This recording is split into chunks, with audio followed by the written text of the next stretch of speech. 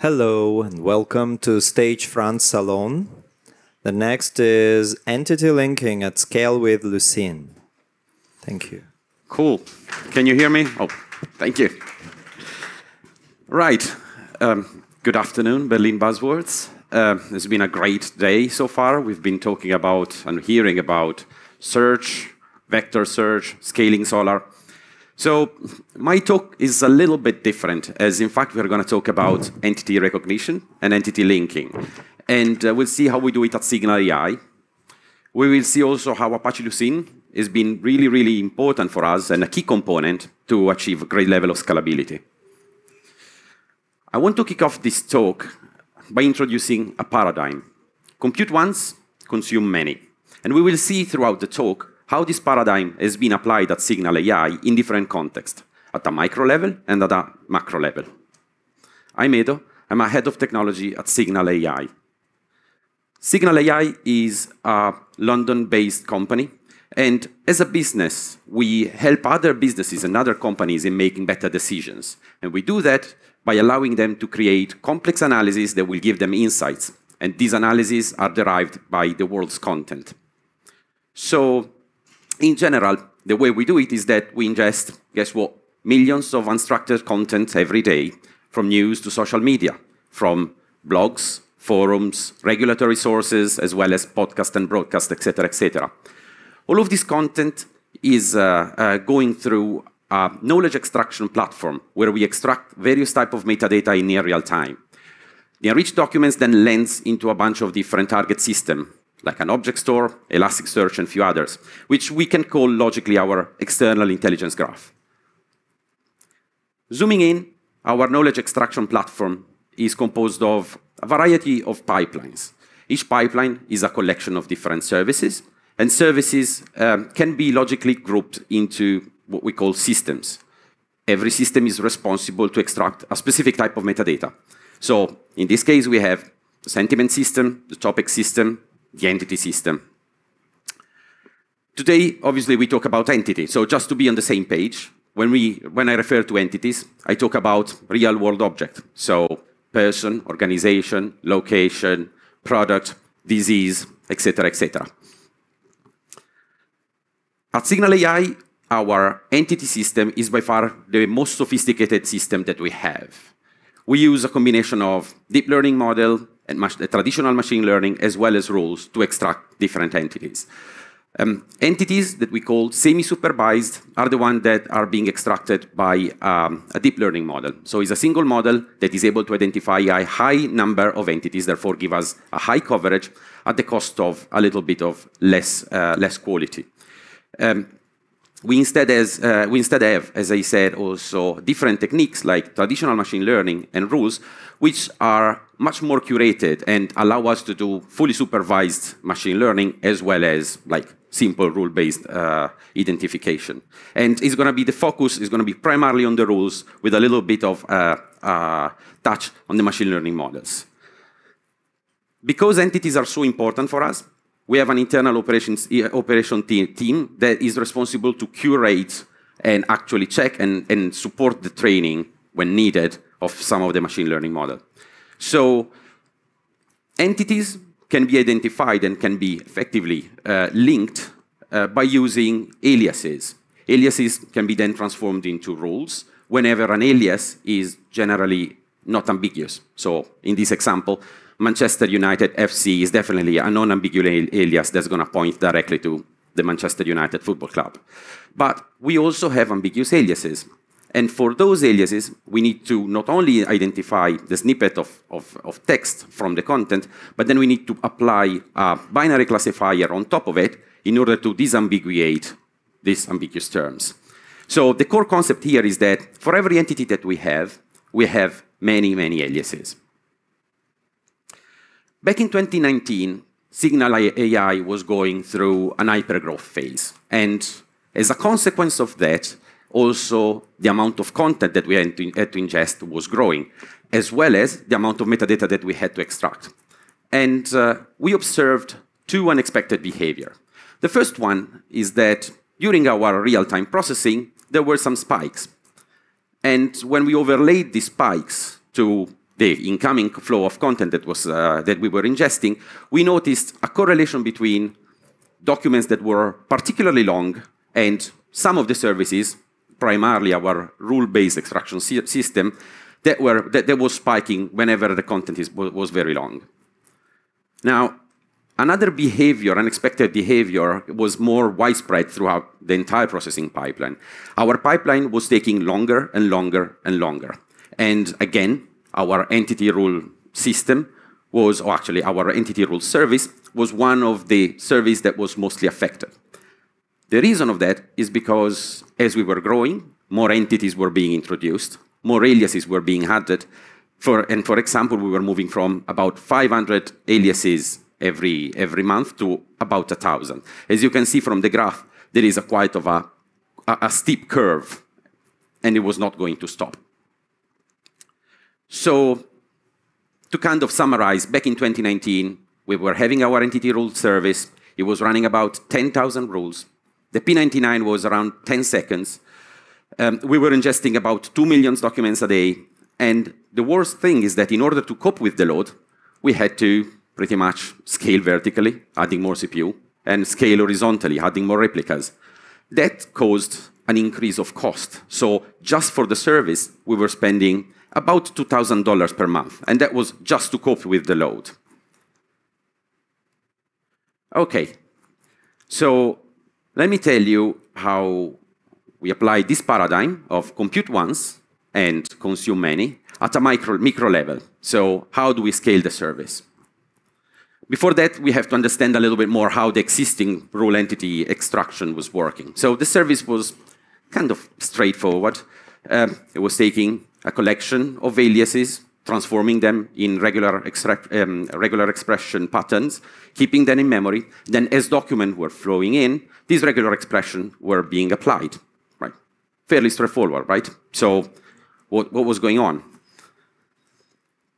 Let's see a little bit more what's going on with, with regular expression. So without going too much into the details and the guts of regex, a regular expression, when it, when it has a pattern, it has to go and scan our incoming document character by character by character. It has to scan the entire document. So we can say that as a runtime performance, our regex is linear with the length of the document. There is another aspect though.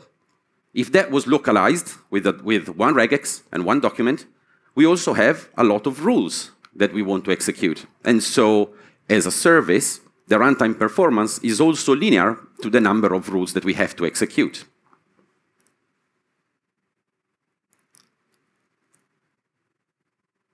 Okay, okay so if we sum these two, we can say the overall runtime performance to process a document is actually OM times N, because for every rule that we have to, that, that belongs to our collection M, we're going to have to apply it to the document that has a length n. That kind of is in line with the problem that we were experiencing. The more rules that we were adding, the more it was taking, that the service was taking, the more time the service was taking. And every time a document was much longer than our average, so I'm talking about from 10,000 characters to 100,000 characters, for example, well, that had an amplified effect causing these huge spikes. Okay, so let's look at the, at the problem from a slight different angle. Like the existing system does two main operations. Does a tokenization and a matching. And obviously regex is doing this operation in place, these operations in place. So the, the tokenization is the simplest one, right? Is uh, just a character-based tokenization, character by character by character. Um, whereas the matching is, for every single rule, it has to find, as, the, as we are scrolling through the character, it has to find if the, the, the pattern is being, is being found or not. And by looking at these two, there's the matching part is something that we can't really escape. That is, every rule is different. So we can't really optimize there. Every rule has to be computed against our document. But at the same time, there is another one, which is the tokenization operation, that is actually producing a lot of waste. We are scrolling through the same document over and over and over and over. Okay, so how can we break down the runtime performance? If we change our approach and we take a different perspective, we can maybe introduce a tokenization that tokenizes the documents only once, save these tokens into a temporary data structure, and at the point, use the temporary data structure to leverage all the different matching that we have to do. So this is a very simple thing. You're just splitting two different responsibility, and we'll see, see a bit more, more, a bit more uh, later. And in the end, we are trading off some space complexity to achieve a better time complexity. As we are introducing a data structure in the middle, we are breaking the performance from being o, o uh, m times n to be an OM plus ON. And we'll see how this is going to have incredible, incredible results. Now, um, we started thinking about solutions. And obviously, the first thing, the most naive solution that, that comes to mind is like, let's introduce something like a map, right? A map that allows you to just, you just tokenize very simply, store everything into a map, and then use that to do fast lookup. Well, that is great, but again, I said it's naive. And the reason why it's naive, because the problem that we have is not just finding single terms. All of a sudden, if you have your alias is composed of multiple tokens, then what do you do? You either save all the possible combination into a map, which clearly is not a good trade-off of space complexity because it's going to grow quite a lot, or you have to store this, some extra information like offsets or in positions somewhere else. Well, for some of you who are familiar with Lucene, let me introduce Apache Lucene. Apache Lucene does excellent tokenization. It provides great data structure as well as has a great way of, of matching, a great, great way of running queries. A little, a little bit more about Lucene. Why did we choose Apache Lucene over, over building our own? Well, once again, we didn't want to reinvent the wheel. Lucene is a battle-tested information retrieval library. You've heard about it, and you will hear more and more some uh, later tomorrow. It has a great and configurable framework to do tokenization. You can actually do whatever you want because you will see later, you can create different steps to tokenize your text. It's using efficient data structures. So we have inverted index, uh, term vectors, and so on. And because of that, matching terms is blazing fast. And because of the advanced way of querying our data, we can do much more sophisticated query that are not just a term match, but for instance, you can do a phrase query that could solve the problem of having different aliases, uh, an alias with multiple tokens. So a high-level view of Apache Lucene. The document comes in, it goes through an, uh, um, a Lucene analyzer, which is responsible of doing some level of tokenization, then all of that, all our terms and tokens are being stored into our inverted indexes or term vectors. And then you can apply the matching with your incoming query. So let's look at, the, at this slide for a moment. And there is, I draw a dotted line for a reason. There is a first example of compute once and consume many. We are computing the index once, but we are consuming the index multiple times.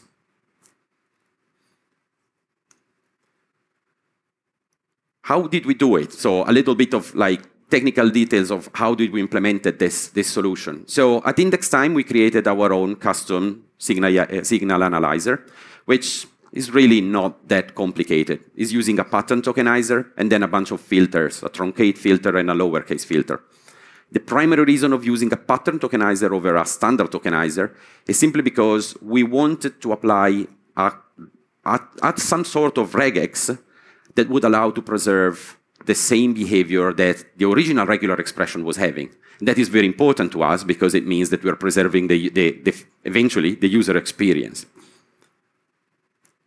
At query time instead, obviously, as you have a tiny index, you are executing your queries, but you don't really care about finding the document that is matching your query. What you care about is finding the piece of text that are matching your, uh, your, your aliases. And for that reason, we implemented a custom, a custom highlighter. The custom highlighter, primarily what it does is that given one or multiple documents, it returns passages and, and the content, being the content, the full, the full text of our, of our document. And passages primarily contains a bunch of metadata, such as the number of matches of an alias, the offsets. And with some extra post-processing, uh, we can easily find the information that we need. And this is an example, an entity, there is a wiki title, which is our unique identifier, and there is an offset. That offset has been derived thanks, from, thanks to our, our um, signal, signal highlighter. And obviously, there is also the original surface form, so the original alias that we found in the text. Again, these are important to us because we needed those things later on in our, in, in our processing, as well as in order to display certain information in, in our web application. Okay, so we saw how we use at index time an analyzer, and then like effectively at query time, you use a combination of query and highlighter. If we, if we put all these pieces together, this is how the service kind of look like. So rules, or actually aliases, instead of being transformed into regular exception, uh, regular expression uh, patterns, are being transformed into Lucene queries, and they're kept in memory. A document comes in, and the Lucene index is being generated. And at that point, the very same Lucene index is being used in order to execute all the queries. Fairly straightforward, to be honest. But results have been quite, like, quite, quite interesting. And uh, we noticed that if before we had to run between 28 and 40 tasks in order to cope with the load, now everything was running on five tasks.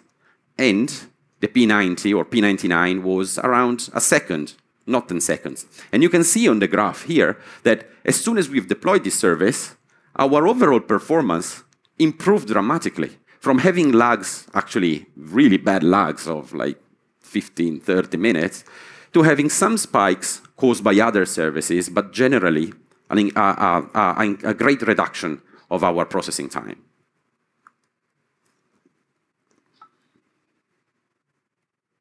Okay, now we've seen how we applied this compute once, consume many paradigm uh, at a micro level, so at a service level. But at Signal AI, we decided to use the very same paradigm at, to, to scale our entire architecture. And uh, in this way, we've been able to achieve like a high th throughput, both in real-time processing as well as in offline processing. Let me introduce three key principles that we are trying to kind of uh, use across our, our processing systems. Um, these three key, three key principles are, are abstract for a reason, and you will see why, because we can apply them in, in different contexts. And is single responsibility principle, like the, a parallelization concept, and batching.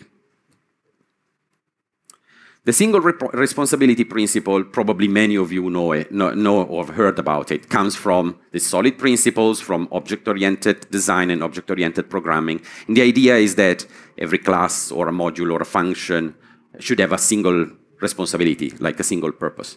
And probably about a year ago, there was a very interesting article that was that, that I've linked on here that talks about ideals principles. And these ideals principles are similar principles applied to microservices. And the single responsibility principle is one of them. And so the idea is that as a service, you can try to break the different responsibility, the different purpose that the service is doing into, into smaller services by paying a bit of price in space because you're going to have to have an intermediate representation that has to be stored somewhere.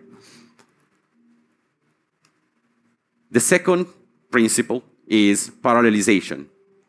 Again, we heard about it over and over and over. And the key idea here, here, here is, again, very simple. The idea is that if you have a collection of services and they don't have data dependencies between each other. There's no real need to run them in sequence. As much as possible, you can change your design and start running them in parallel, and at that point, you're going to have a gain in your overall lag. Last but not least, batches. So we used to compute and extract metadata a document at a time. We realized that if we could pack together a bunch of documents in smaller reason or reasonably small batches, we could actually achieve quite uh, interesting things. Primarily by grouping documents into small batches, you get two things. You get less I.O., meaning that you have a reduced overall lag time because you have less serialization and deserialization, etc. And as a consequence of that, which is a good thing, is that your costs reduces, especially if you're running in the cloud, because you know on S3 you pay per writes and, and reads. So if you are in batches, you're going to spend less. You also have with batches great improvements in, in runtime, and this is because things like Lucene, whenever you're creating an index, you have to pay some cost in the data structures that you have to create. That is quite expensive if you are using a single document, but if you pack together a good enough number of documents, then like there, there is a gain there.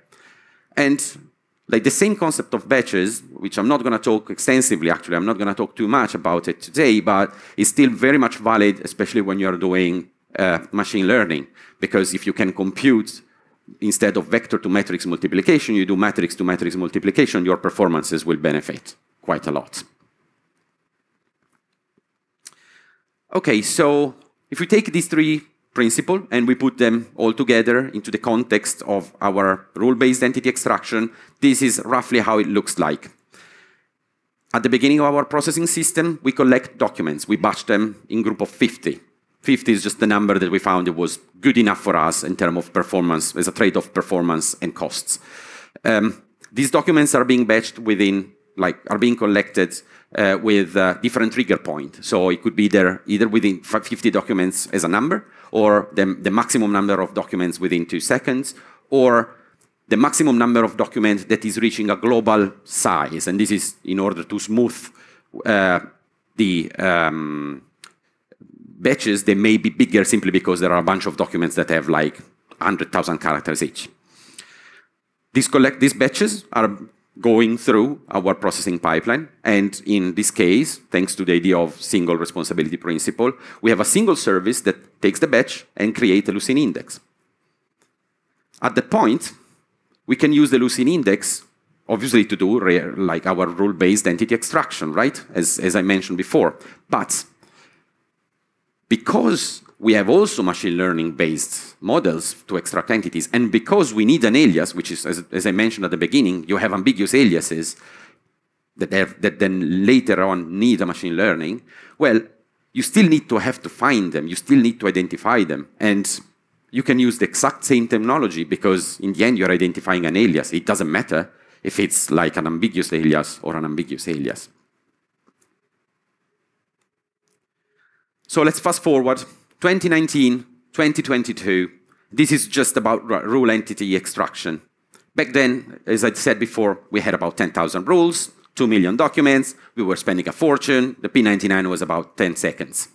2022, we are processing, when we are executing about 110,000 rules, and we've done some load tests. We believe we can support up to, up to 200,000 rules, after which performance starts to degrade, so we're gonna have to think about alternative ways, like sharding, for example.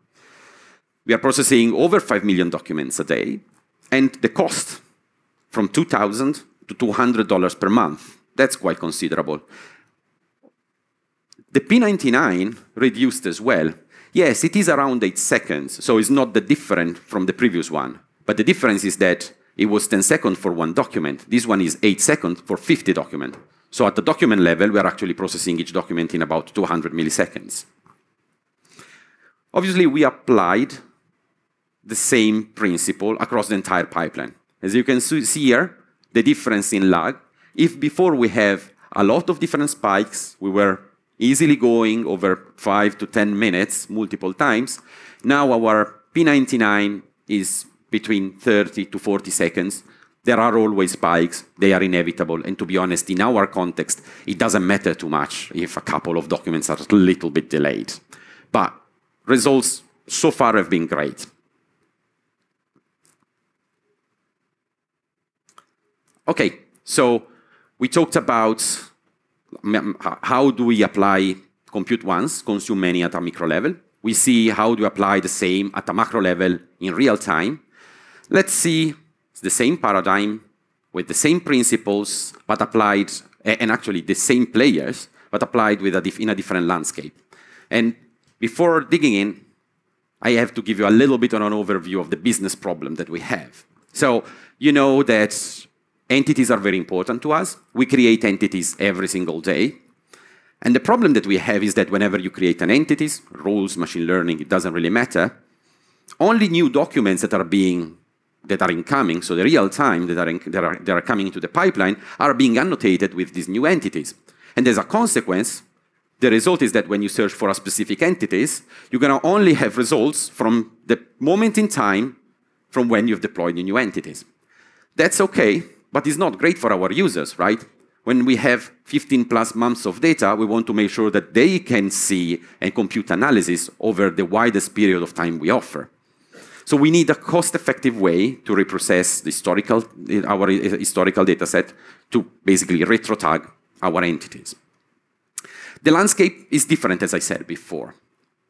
The real-time processing has small, small volume of data. 5 million documents a day is not too much. We have always fresh data. Documents are always different because we ingest them and they arrive in real time as soon as they are published.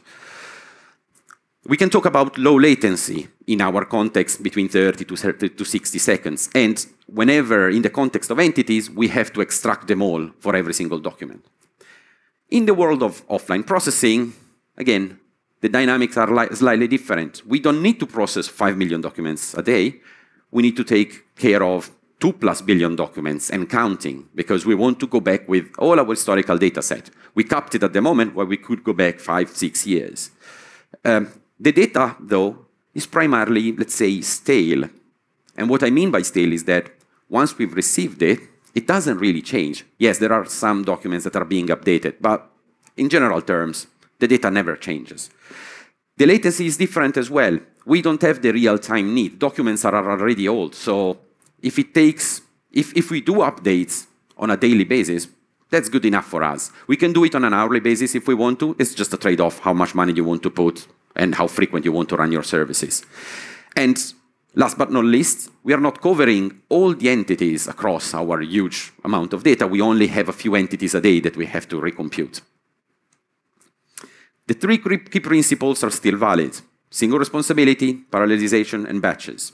Now let's see how these three key principles have been applied in a slightly different way in offline processing. So the idea is that thanks to the, the, the single responsibility principle, because we manage to split services in smaller components, at the point we can choose what needs a one-off computation and what instead needs an on-demand computation. And we'll see that in a minute. Batches, the concept is the same. And in fact, the system, they just handle a collection of documents. The difference, though, is that instead of processing 50 documents at a time, now we are talking about batches of 50,000 documents at a time. That's a good trade-off, as we have 2 billion documents. And again, because our services don't have data dependencies between each other, you can run, you can run an instance of any service, for instance, the, the, our, the, the generation of our index, as parallel as you can. So whenever we generate indexes, we may run 100 or 200 different instances at the same time.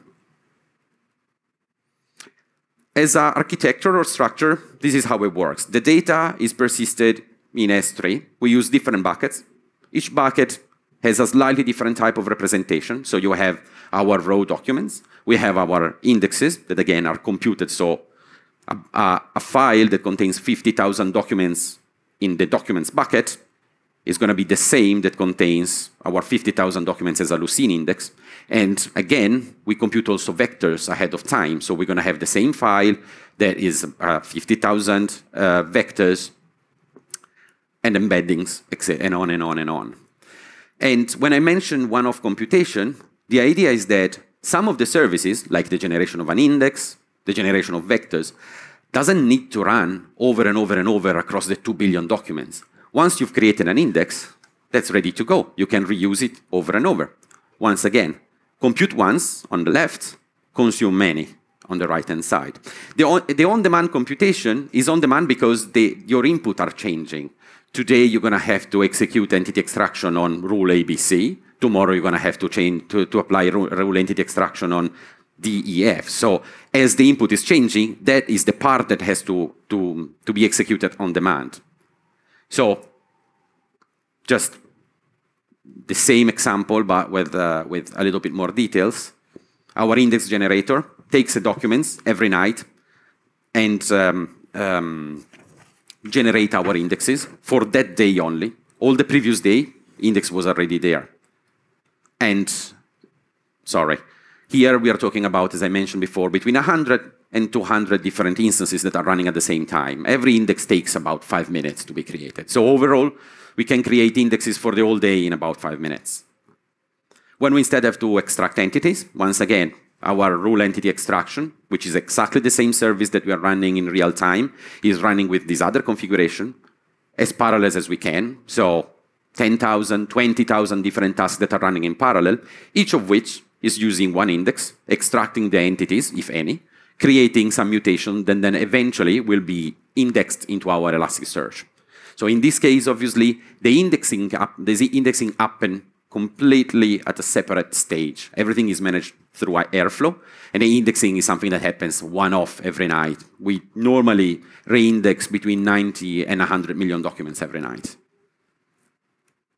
So just to summarize our offline processing in the context of rule entity extraction, back in the days, pretty much it wasn't, it wasn't doable. We were doing it on demand, so if a business was asking and praying for a specific type of entity to be retro-tagged, then we were doing it, but we were using this regular expression-based uh, solution, meaning that we had to go back and reprocess every single document. That was taking forever. It could have taken multiple days. It was also expensive. In 2022, we can do this type of reprocessing at scale. We do that with Lucene, but again, obviously, we do that also for machine learning models for entities. We do the same for topics. In the end, the concepts are the same. Once you've computed your data and you have it there, it's just about executing your run, like your on-demand task uh, with, with uh, as many instances as you want. Um, the overall time it takes for rule entity extraction is about 15 minutes, between 7 and 15 minutes. It, it, really varies. I don't really remember the reason why it may take some longer. It may take longer in some occasions. It's likely that the amount of content is different in an index than the other. But overall, 15 minutes is good enough, right? Okay. So key takeaways. Consume one, um, compute once, consume many. It's a great paradigm, paradigm uh, which allows, allowed us to achieve incredible results. You can apply it at micro level and at a macro level. It requires a deliberate decision. So it, it's not a solution that fits all. Like it really varies depending on your business case. And finally, last but not least, Lucene. Lucene played a key role in this problem because thanks to Lucene, we've been able to achieve entity extraction at scale in real time as well as offline. Cool. Thank you so much. Thank you. I think we have a couple of minutes for questions, if you have yes, any. we do. Any questions?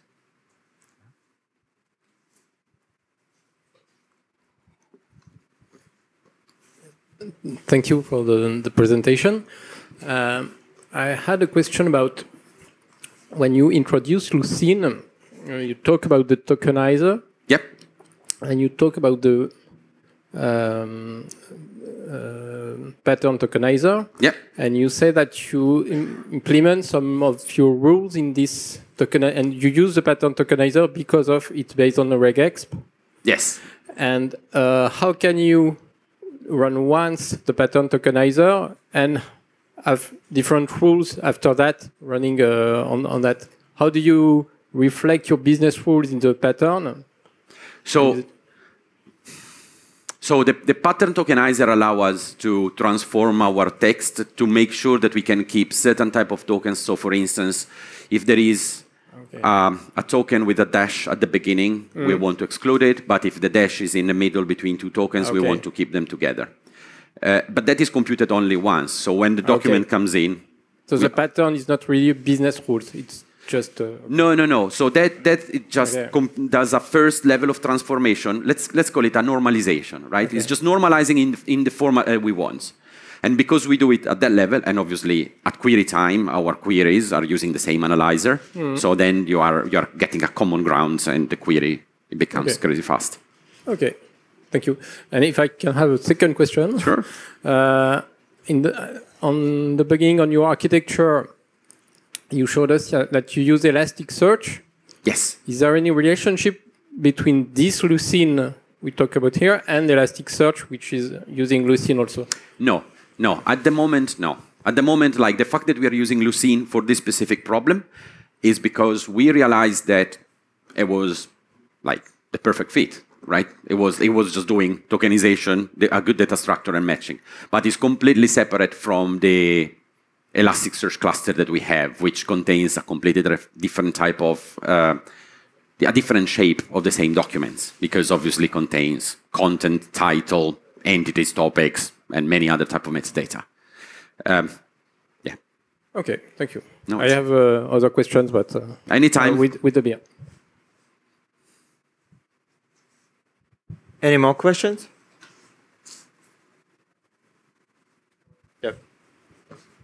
Hi, thank you for your talk. Um, I was just wondering, can you always apply the rules that you write now to to identify entities back in time, or they become they can become invalid and may, may you generate wrong data, may you extract uh, wrong entities?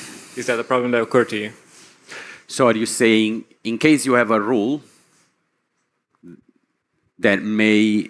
So I, I may write a rule about. Uh, the Olympics in 2024, which uh, may, uh, if I apply it back to data from 1994, may actually generate from wrong matches. Is that something? That absolutely. So the, the key problem there is that how you define the rules.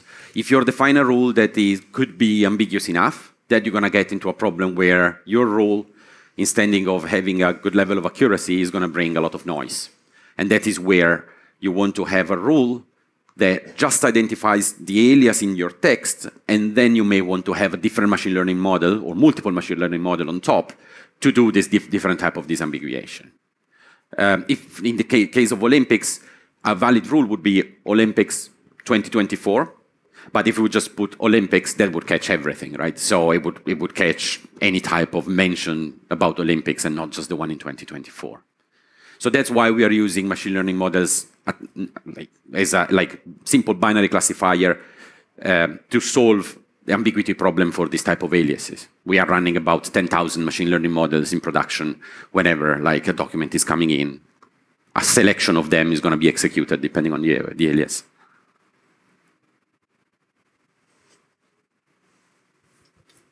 Yeah. Uh, thank you for the talk. Uh, did you run into any problems when you were dealing with languages that weren't English? Um, no. The premise is that we don't have this problem altogether as when we do entity extract, well, any type of extraction, we use English only. So if we have documents that are not uh, in the like English English lang language originally, but all of this content is being translated into English and then we apply any type of extraction from rules to machine learning for topic and entity, etc., on English content. For this reason, yes, you may have some cases, you may have some errors at times, but they're minimal and they're like they're not at the moment they are not as impactful for our business, so we are not going to tackling at the moment. That's it. Thank you so much. We are hiring, so if you're interested.